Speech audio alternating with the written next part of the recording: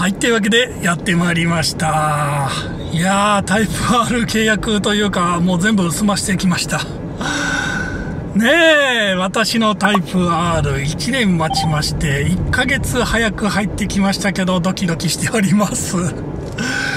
ねえ、今回ね、あのーなんと私、シビックタイプ R86 回支払いということで。86回支払い？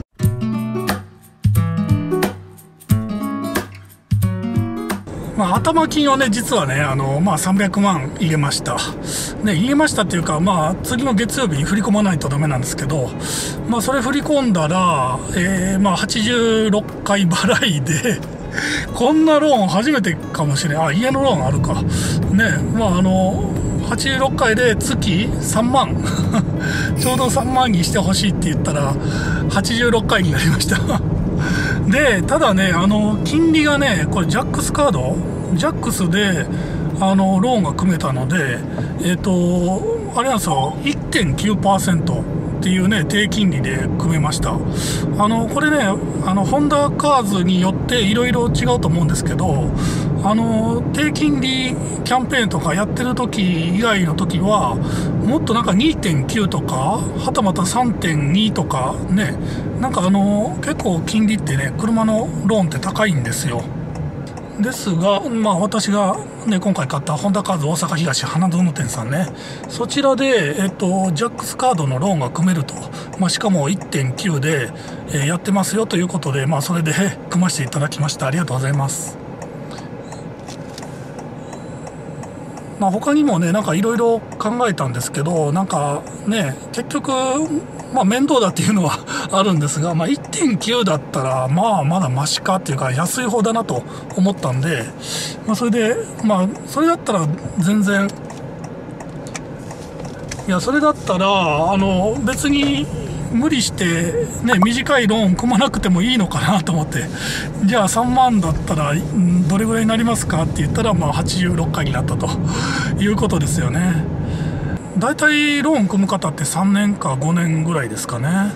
ね、まあ車検の時に合わせて、まあローン組むとかいう人は多いんじゃないでしょうか。私は86回でしたけど。ねえ。いやーでもいろいろそのオプションも悩みましたよ。そのオプションね、最後の最後にちょっと全部書いてもらって、これで決めましたって言った後、ちょっと昼ご飯食べに行ったんですよね、時間があったんで。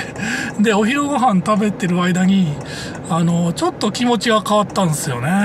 気持ちが変わったんですよ、あの、オプションの。本当に迷惑なやつ。ね。で、まあ何を変えたかっていうと、あの、フロアマット。フロアマット？えフロアマットっていうの？フローリングマット？え？あの下のシビックタイプ R の純正のマットがまあまあ高いのね。まあまあ高いのね。でしかもそれもねなんか価格改定で値上がりしてんの。前はね6万6千円ぐらいだったのが今ねなんか7万ぐらいになっちゃったんですかね。なんかちょっと高なってるよって 言われましてね、あ、高なってるんすか？みたいな。で、あの、無限の、あの、ね、下のフロアマット黒いのと赤いのが選べるんですけど、その、まあ、黒い方にしようかなと思ったんですよね、その時はね。ただそれやっぱシビックタイプ R の下の足元って結構ね赤い布貼ってあるんですよ。なのでその黒いの置くとその赤と黒がなんかミスマッチな感じに見えないかなって飯飯食いながら思ってて。そうなんですよ。ほんでまああの他の人との差もあるなっていうね。なんかそんな風にちょっとその最初お願いした時はそう思ってたんですよでまあただちょっとその厚みがねちょっと違うらしいんですよね。その、シビックタイプ R の純正のあの赤いマットは、あの、ちょっとふさふさしてるというか、なんか毛足が長いんですよね。ふかっとしてると。で、あの、えー無限の方は、まあ、ふかっとしてるけど、そのタイプ R の純正よりも、あそのちょっと薄いということなんですよね。まあ、決してそれが悪いというわけじゃないですけど、そういう差があるということですよ。で、まあ、ちょっとそれが気になってね、それが気になってて、ご飯食べて、あのちょっともう一回ちょっと本田和さんにその後最後ねなんか書類の印鑑を押さないとダメだったんで戻ったんですけどね戻ってやっぱり変えようかなとやっぱり後悔したくないですよねちょっとでもねあのー、ねあーって思うとやっぱその時早め早めにね変えといた方がいいと思います。皆さんね。後でやっぱ家に帰ってうーんって思うぐらいだったらちょっとその時その瞬間ご迷惑をおかけるしたんですけどもう一回ちょっと書類書いてもらったんでねまあちょっとその手間はあったんですがまあちょっとごめんなさい。ちょっとやっぱ気が変わりましてごめんなさいというお話でね書いてもらいました。まああとはまあオプションまあ言うてもその本が結構おすすめされてたんでえー、そうなんかな。まあ1万5000円ぐらいだったんでそのプップーってやつね。あれがなんか普通のベーベーっていう音なんかな。それだけねちょっと本買いました。なんかファンってか言うんかな。ちょっと納車したら鳴らしてみたいと思います。ね。であと何つけた？あとあそう ETC とか。そう必要最低限のやつね。それぐらいでしたね。まあなんやかんやでね550万ですよ。するな。結構するな。車高えな。しかも今回ねちょっと2台持ちになる可能性が高いのでいやー結構車2台持つって結構な経済力よ本当に。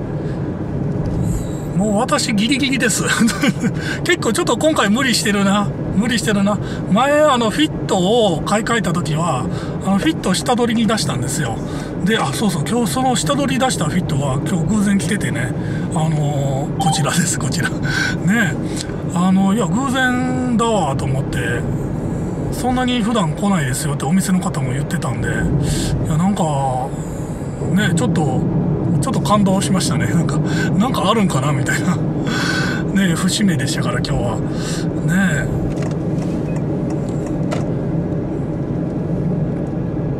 まあ、それでシビックタイプ R がまあやっと私の手に、えー、もうすぐ入ると。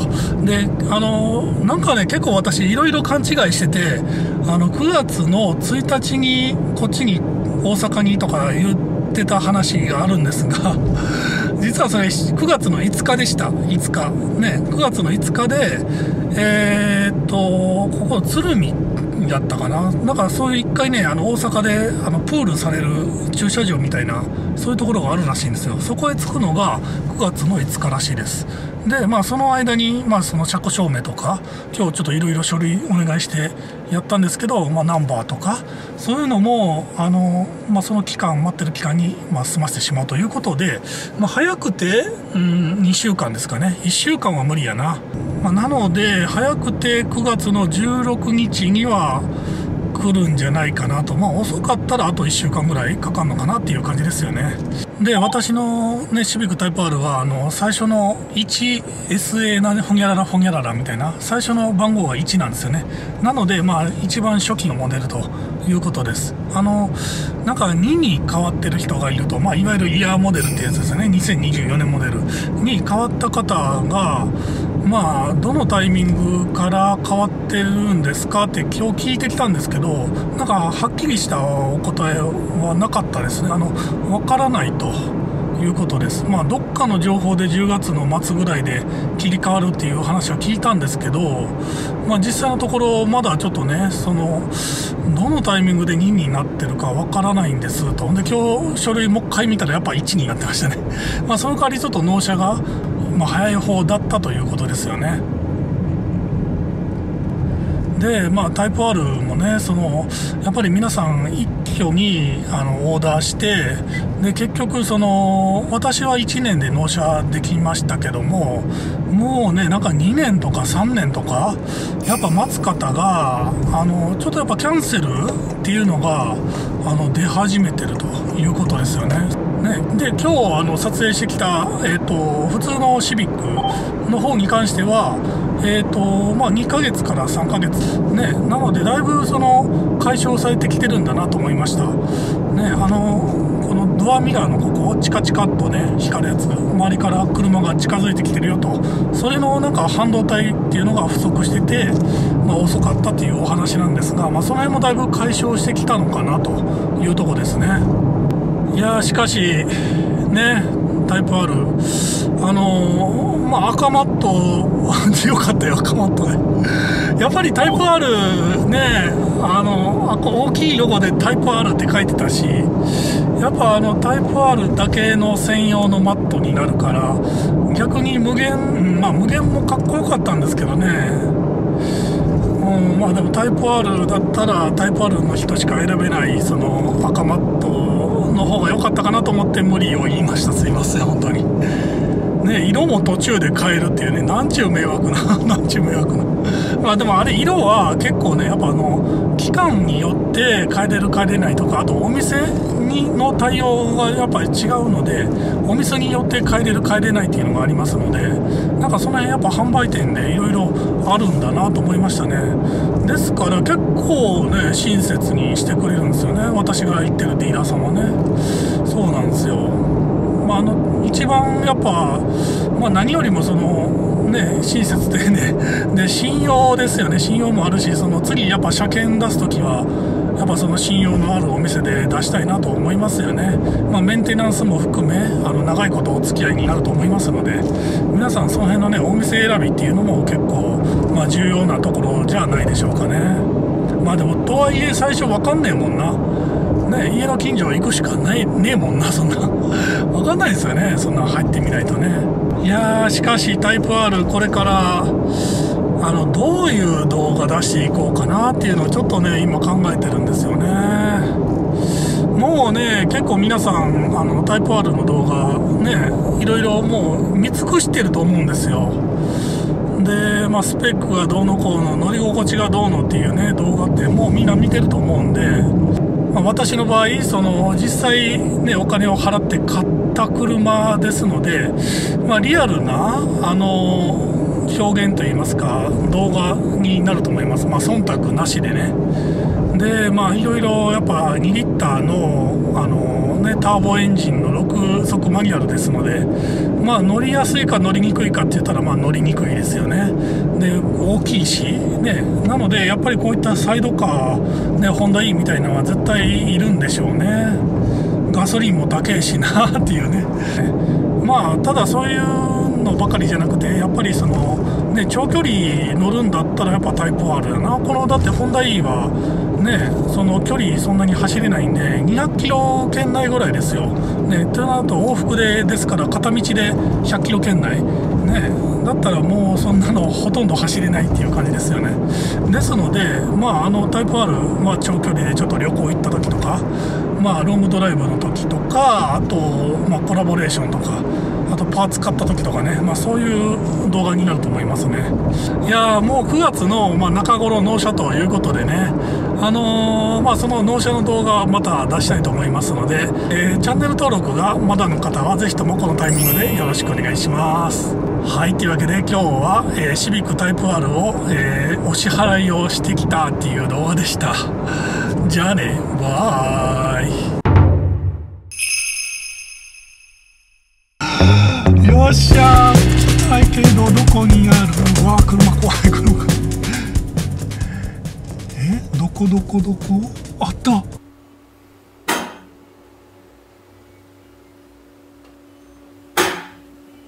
まさかこんな納車動画になるとは。これが鍵。こっちスペアやけど、うん、赤バッジがついてる。すごい